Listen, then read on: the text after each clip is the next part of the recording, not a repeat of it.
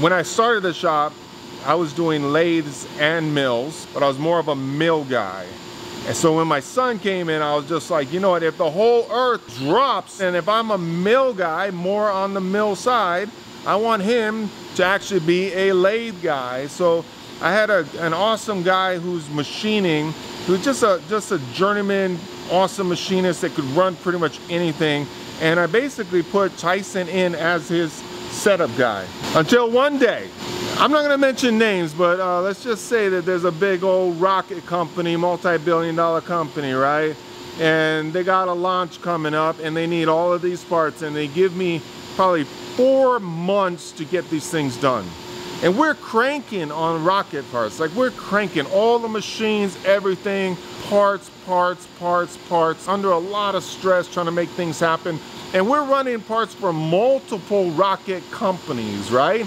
And, and the person who was over Tyson, I would go and talk to him, you know, how's this series of drawings doing? And he'd be like, oh, everything's good. You know, awesome. So you got the programs? And he's like, yeah, I've been programming them, getting all set up, getting all my tools ready, boom, boom. All right, because they just called me and they just said, if you actually fail on this, you're gonna put everything in jeopardy. This cannot be late. These parts have to be on time. I kept talking to my guy and I kept saying the parts aren't on the machines right now and we need to get those things on and the material showed up and I see them sitting on the pallets and sitting on the pallets and nothing's happening and then one day I literally walked in and I said you got them all programmed yep I got them all this and I'm like open your computer and show me the programs show me the simulation show me everything right now he didn't have anything done he didn't have anything done and I was just, my heart stopped and just dropped. Oh, and I was so busy on the mill side and just with the overall company and I hadn't been on the lathes for a while. Oh, what am I gonna do? And I can't hire somebody. And then all of a sudden, the guy doesn't come into work the next day and never came again. Oh no, like the company's calling me and like, are you good with the parts and this and this? And I'm like, oh, what do I do? And now we're inside of six weeks and we're, they're big parts. They're crazy parts, crazy tolerances, intense, and just all absolute positioning. Just not only lathes, but mill also, fourth axis also, yeah. right?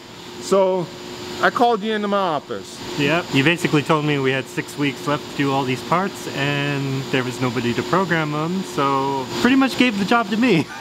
Here's the kicker, right? Had you ever programmed a job before? Absolutely not. did everything I could to not have that responsibility because I just wanted to run machines and exactly. Know, so home. right now the company is in jeopardy. We're gonna lose our customer. And you gotta understand the company, when they come and talk to me, they're just like, look, it's not just this one launch. It's like the whole world's looking at us. Our whole reputation is on the line. And if you guys fail, you're gonna make us fail. It's a little bit of pressure. But basically I went to Tyson, I just said, look Tyson, I got nothing else. I can't hire anybody else. I can't do anything. Like you have to do this. You're smart enough. You've been setting these up for like the last four years. You've been setting up titanium and 15.5 and nitronic and setting the tools and you've been doing all of it. So you understand machining. And this is the lesson and this is the reason why we're telling you this story. You understand the machining. You understand the depths of cuts. We're going to give you, meaning myself and help, we're gonna actually give you the depths of cuts. You already know the tools, so we're gonna give you the depths of cuts, the, the speeds, the feeds, and all of it.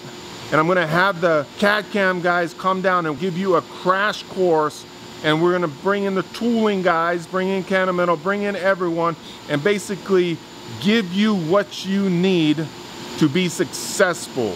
But we gotta start putting the time in. There's nothing we can do. We gotta get the parts done and they gotta ship on time, period.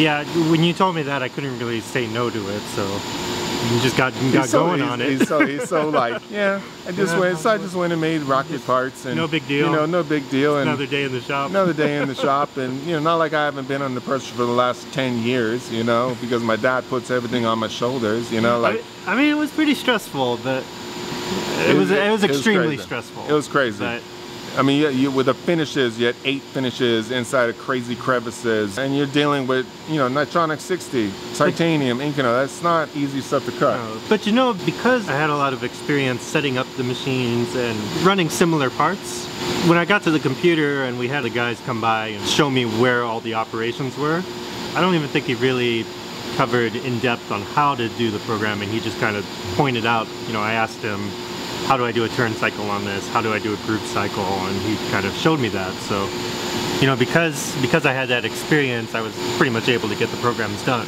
Yeah, and he got them done. He got them set up. He got them machined. He got them through inspection. It was systematic. Boom, boom, boom. Worked late hours. Made it all happen. We shipped all the parts. Every single one was perfect to print, delivered on time completely saved the day for our customer. And that was his learning process for learning how to actually program parts. That's the lesson right there, right? Because it's, it's not that hard. It's not that hard. The programming software really does all the work for you. Exactly. You're just telling it what you want to do, what direction you're cutting in, and it's even easier on a lathe than it is on a mill. Yeah. Because you're not dealing with so many axes.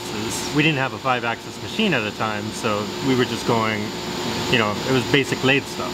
Exactly lathe and even like the fourth axis we take the yeah. fourth axis and we'd flip it up on angles and do different fixtures and different yeah. tooling and different things and stuff He's, he was really good on computers though great on computers mm -hmm. so when he jumped on he just was like okay I understand the tools let's just make it all happen and it all worked out. That's right. Right? So when the going gets tough don't run away from it. Stand in the pocket and just talk to your tooling guys.